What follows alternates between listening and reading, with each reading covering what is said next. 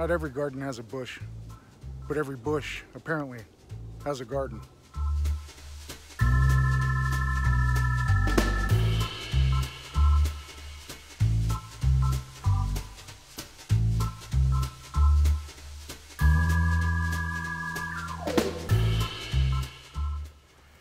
In 1906, Adolphus Busch opened his uh, 38 acre private garden. Uh, it was lush with over 100,000 varieties of plant life, and uh, I think they may have even offered the garden to the city of Pasadena after he had passed, and they denied it twice.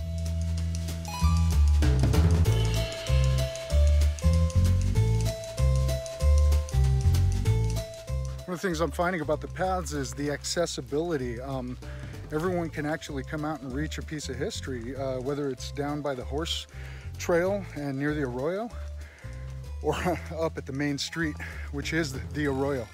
Um, or was that the other way around? They're both arroyos, whether it's on the wheel or on the river. Um, you can access portions of this park and its history. And uh, speaking of history, I really wonder how old those stairs are. It's nice to be able to walk through the, uh, I guess, officially, unofficially, uh, oldest theme park in LA. Uh, during this period when this park existed, there were other parks as well uh, that kind of sprinkled the, uh, the vast deserts of Southern California. Uh, Descanso Gardens, Huntington Library, Busch Gardens, so on and so forth. Some of them are still around and unfortunately some of them they're not. Damn, I almost went over. That's how people die, by the way, is by doing that shit, trying to be cool. And then they fall over hills and then they die. But I didn't, so let's move on. You know, I used to cover news. The last thing I want to do is be it.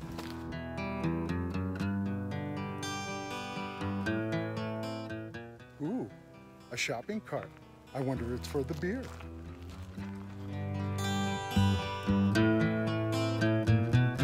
What's not uh, hard to ignore, aside from the trash, um, as all parks have, uh, is the uh, the amount of local stone um, that they used from the riverbed uh, to build a lot of these walls. You know, and I think uh, those are the keys to finding where these paths and these locations were here at uh, Busch Gardens.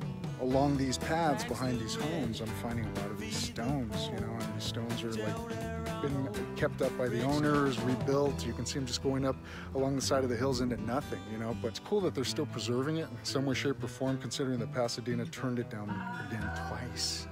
Twice.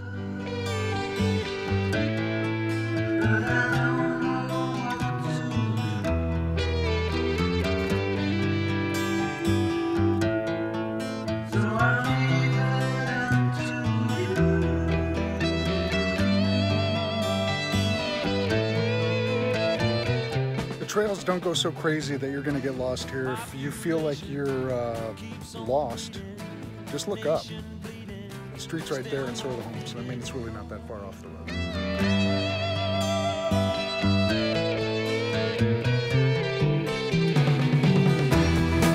Is funny, skies are sunny,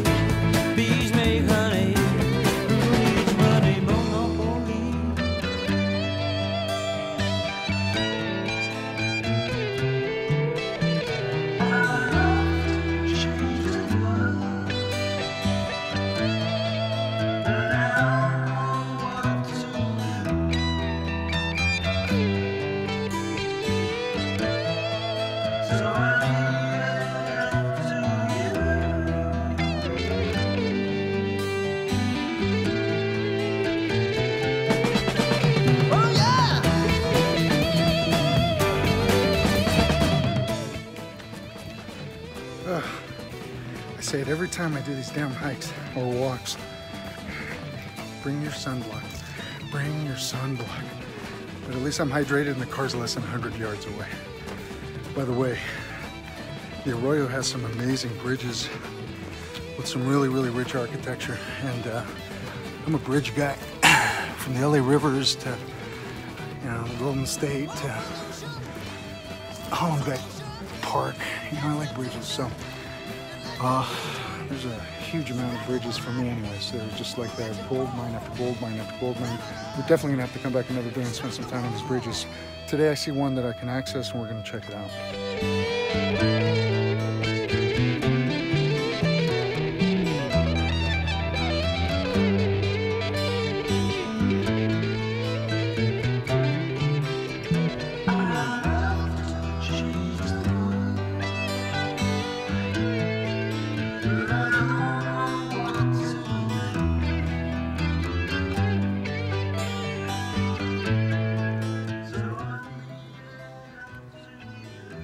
Certain areas in the garden that almost feel like an archaeological dig.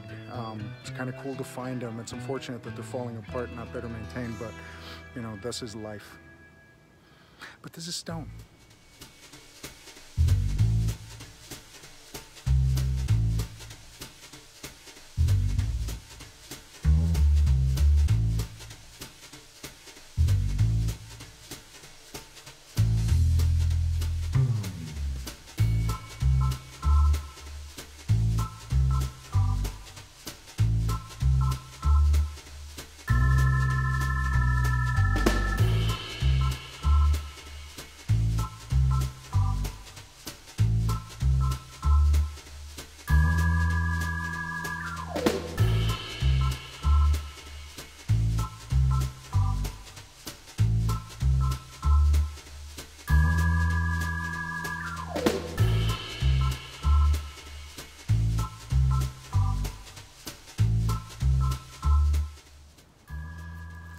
These are pretty cool.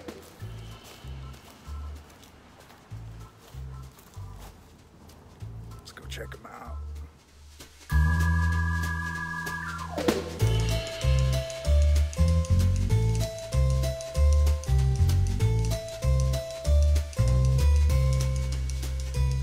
Walking around these steps almost makes me feel like I'm stuck in a nature painting.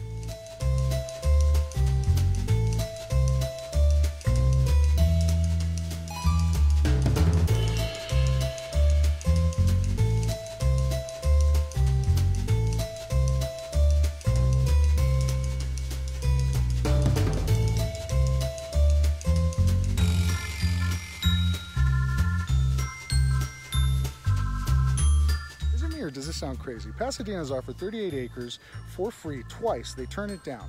Then they develop homes on that same property later on to say that these homes are protected by the Historic Landmark Society and they are not to be changed under any circumstances unless you got a lot of money, then we might look the other way. How much sense does that make?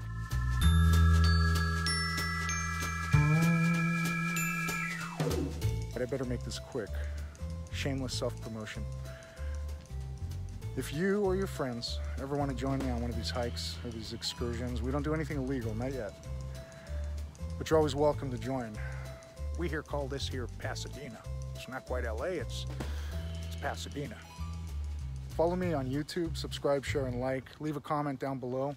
Tell me something you're interested in checking out.